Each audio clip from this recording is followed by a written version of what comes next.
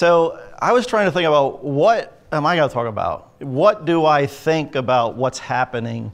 There's been two talks brought up Chat GPT. I'm going to give you a third one, okay? What do we think is actually happening with that? Ever since ChatGPT came out earlier this year, it's like, oh my gosh, how do I survive? How do I win in this world? What am I going to do? So I started thinking, well, this thing looks disruptive. Um, well, wait a minute, I've seen some disruptions. I mean, I'm old. I'm from three technology disruptions ago, but I'm not that old.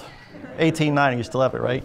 But I have seen three internet technology disruptions. The first one I saw is when I graduated, I'm the only Georgia Tech one here. About the 1990s, the internet was blowing up. World Wide Web, search happened, email. It was so strange. When I first started Bell South, I was one of the first people to get email. I was like, what do you mean? I had it at Georgia Tech. You're just getting it now? And then all of a sudden, 2002, retail started. I see my colleague from Amazon here, right? Amazon came on the scene. The cloud started happening, another disruption. And then I was in wireless operations. I was trying to plan the, the, the cellular network, and we thought we were doing fine until the iPhone came out. Data blew up, right? Overnight, 2007. We couldn't put in radios fast enough in the towers, like it was hard to keep up. Why was that? They made it usable. They gave us mobile apps. Social happened. It was a big thing. It was a big, big disruption. So today I happen to be fortunate to be in the chief data office. I can do AI and data science. Generative AI is blowing up, I'll tell you. 80% of everything we do is generative AI, chat GPT type stuff. And I was trying to think of disruption. I couldn't think of this whole work from home thing. I could not work from home because of those disruptive dogs, Milo and Quincy, okay? But I'm not talking about that today. I'm talking about generative AI. Now, disruption, what do we mean by that? There's the definition there, right? Something that significantly alters the way consumers, industries, and businesses operate. And I showed you these things. What are the companies that did this? Google, right? Disrupted search, disrupted advertising. Amazon, you don't buy books, you know, in the bookstore anymore. You go bid them online. But all this thing, online retail, we talked about Apple with smartphones. But notice these things, they're kind of in an area, right? And if you think about generative AI, who's going to be the winner there? Maybe NVIDIA, maybe an OpenAI. I think they were valued at 90 billion. But what's different is that question below. It feels different. It feels like it's almost affecting everything, right? Now, what else is different? The adoption is so fast. Have you seen this? Chat GPT, two months, 100 million people, right? Netflix was 18 months. Look at that, right? The fastest ever. Now, here's the thing that blew my mind. We look at it today. It almost affects everything. This is the percent impact, right? What scared me was like the first one. Wait a minute, that's me. Data science, right? Right? Customer care, programming. You're probably using it to write code, right? Hack code, fix code, right? We use it all the time. Education. You know, sitting and talking about me, do my homework over there, right? Healthcare, everything, right? Percent. It's like it's everywhere. So this is disruptive, right? Now, I want to give you a feel for AT&T, okay? I told you 80% of stuff we're doing is that now. Let me just show you some of the use cases, right? ChatGPT is great, you get answers, but does that knows nothing about AT&T. I can't ask it, how many days off do I get if I've been here five years at AT&T? It doesn't know, right? I can't ask a finance question. I can't ask a network question. So we have so many use cases. Well, I, want to do, I want those answers. I want them fast. I don't want to search for it. I just want to ask a question. So we're enabling all these business units to ask questions by teaching it about AT&T. On top of that, we have the out-of-the-box thing, coding, right? Generate some code, fix this code, migrate this code. We did a trial. We put one group, you said, you can't use Ask AT&T. We, we call ChatGPT as Ask AT&T internal. It's our own private instance. We said, you can't use it, you can. The people that used it, 20 to 50% faster, depending on who you talk to, okay?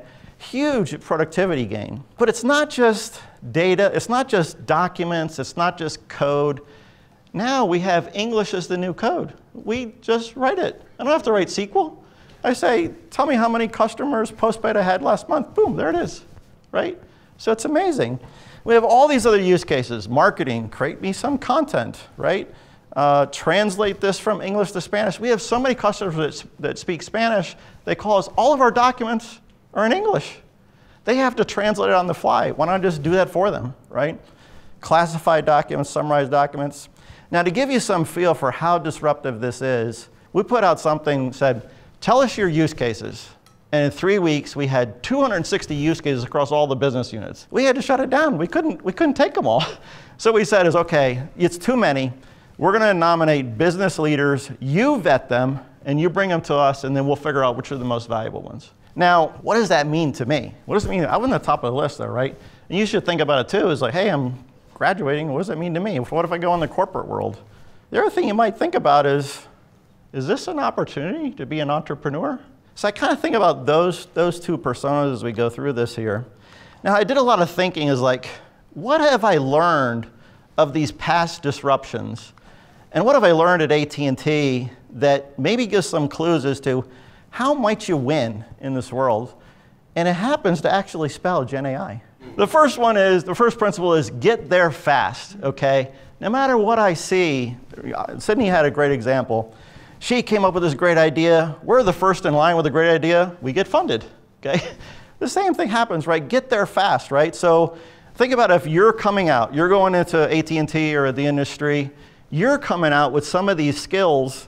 You're going to be in, the, in this workplace. Some people have been there 20, 30. I had a person in my group was there 54 years.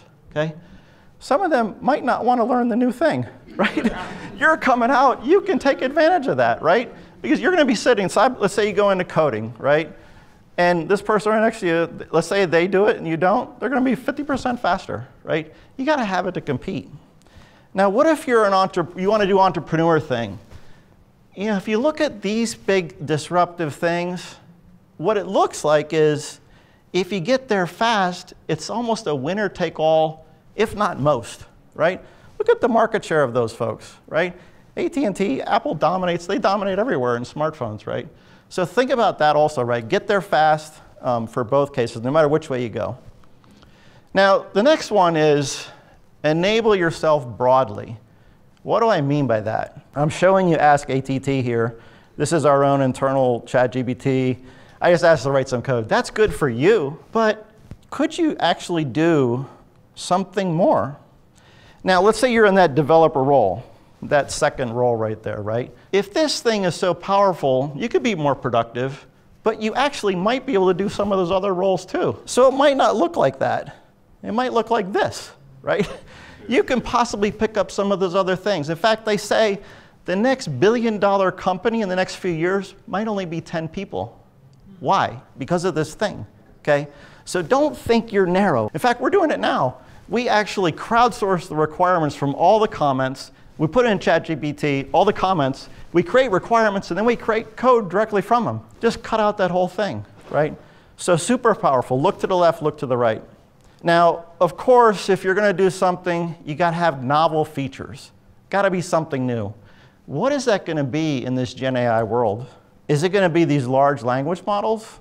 ChatGPT, is that it? Let's say ChatGPT is off to the right there. That's the reference, okay? Did you know that when they put out the open source, in three weeks, they were 92% of the quality of ChatGPT? That might be actually a commodity at some point. So what are you going to do?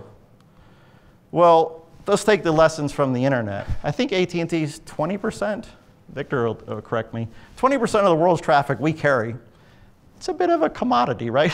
Look at where all the value was on top. All those folks got the dollars there, right? It might be the same thing here. The large language models might be a commodity. Think about doing something on top of them. Like Sydney had OpsGPT, did it on top of it. I, didn't, I wasn't limited by it, right? So that's where the value is. Now this one is maybe not so obvious. Let me try to explain it. Automated actions. Now ChatGPT is great. You get information, okay? Information from ChatGPT, that's cool. Information about your own stuff, that's even better, right? What if you get information and recommended actions? Okay, now I can actually do something. What if you automated those actions? Even more value, right? Let me just give a quick example. Summarize this public data. Okay, ChatGPT. Summarize my meeting. We're doing it today. You take the transcript, you automatically summarize the meeting. Boom, I don't have to take notes. What if I create all the action items too? That's even more valuable.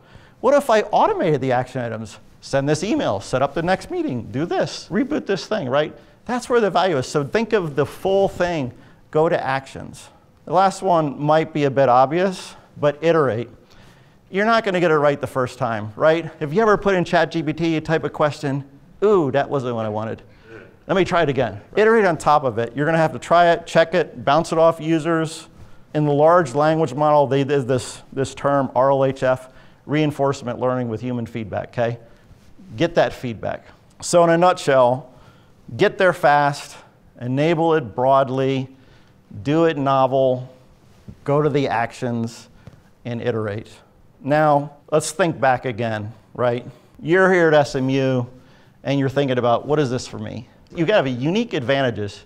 You're young, you're adaptable, you can go in the workforce. If you adopt these things, you're going to be productive. You're going to have folks that and they're a long time, they're tired of that, right? I don't want to learn the next thing. Now, the other thing is, what if you want to do the entrepreneur thing? There might never be a better time. This thing is so disruptive, right? Touching everything. Anyway, think about that. We'd love to have you at AT&T. Join our Data Science Scholar program or talk to us afterwards.